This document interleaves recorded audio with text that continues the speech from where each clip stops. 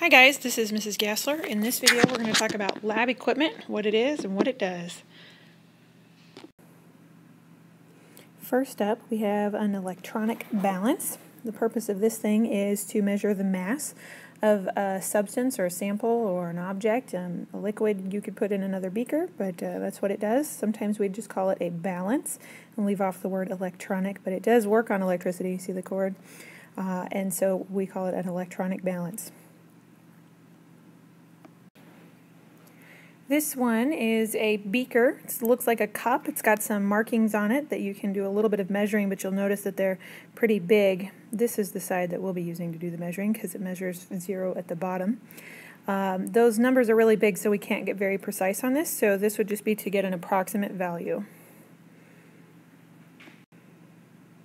This object here is called a Bunsen burner. It will be connected to the gas valves that are on the lab stations. It uh, produces a flame out of the top that we can have uh, be a little bit like a torch or sometimes like a candle, depending on how you adjust these little things right here. Um, you'll probably need some help with that, but a Bunsen burner is what we call it. There are other kind of burners out there, but Bunsen burner is the one we use for fire in chemistry class. This thing is called a dropper. You probably used one. Sometimes they're called medicine droppers. Uh, a lot of the droppers we have actually have little lines on them so you can measure a very specific amount of liquid, uh, a small amount of liquid. Uh, you squeeze the little bulb on the end. This is called the bulb. And you uh, draw the liquid up and then put it where you'd like it to be. That's a dropper. This guy here is called an Erlenmeyer flask. It's a lot like a beaker for transporting heating liquids, um, except it's got a smaller opening at the top and you can put a rubber stopper in there if you happen to need uh, to close it up for a while. Uh, stoppers sometimes have holes, so then you can use it to collect liquids or gases. Uh, it's actually a pretty useful thing.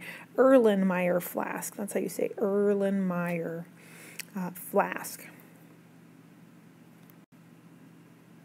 This object here is called a funnel. This would be held on uh, something called a ring stand and a ring clamp. So a ring stand is a little support system.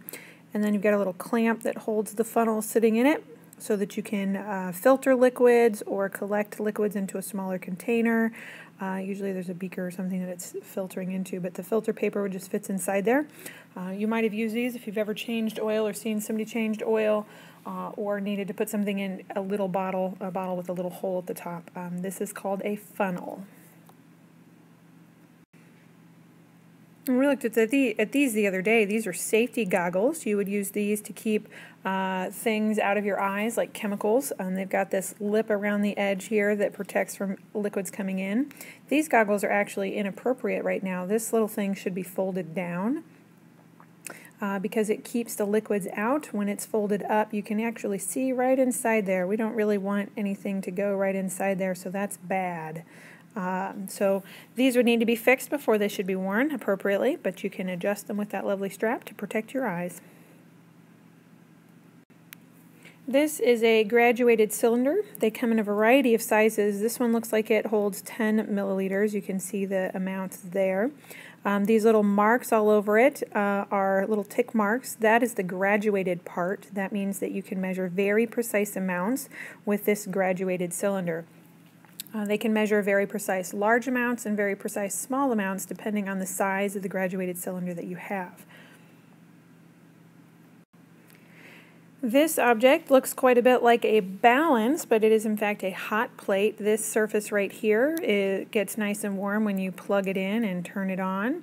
Um, there's a number that shows up here that is pretty much meaningless, but uh, you can turn it on nice and hot and nice and a little bit cooler um, to warm liquids. Uh, then you would put your beaker or Erlenmeyer flask here to uh, heat the liquids, um, and then you could do a lot of other things with the hot plate as well. That's a hot plate.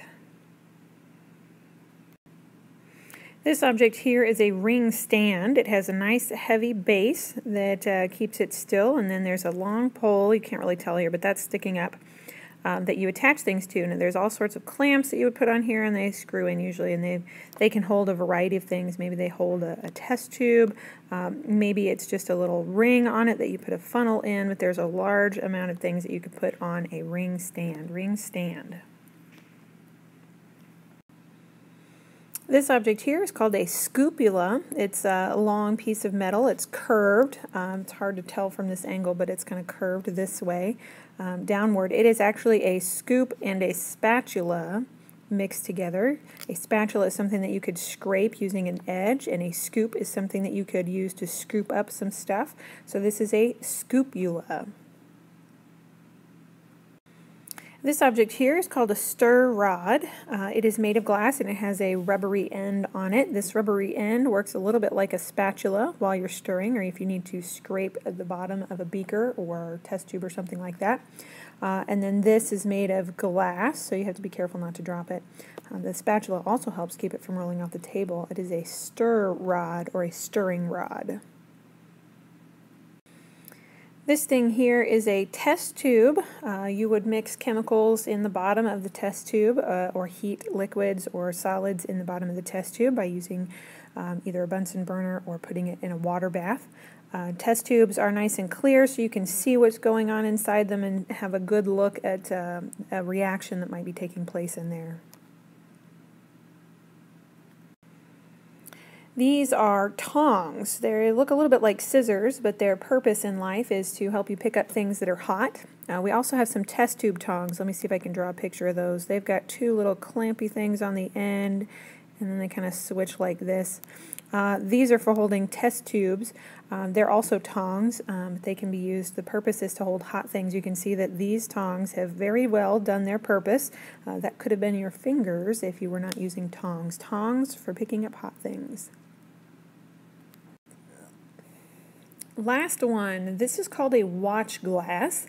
It looks like a giant contact. It's got a nice little surface in the middle where you could put stuff to see how it reacts or you could use it to uh, weigh stuff or hold something. Uh, in the meantime, it also makes a good lid for a beaker so stuff doesn't fly out if you needed to use it that way. Uh, and that concludes our lab equipment video. If you have any questions, make sure you ask your teacher.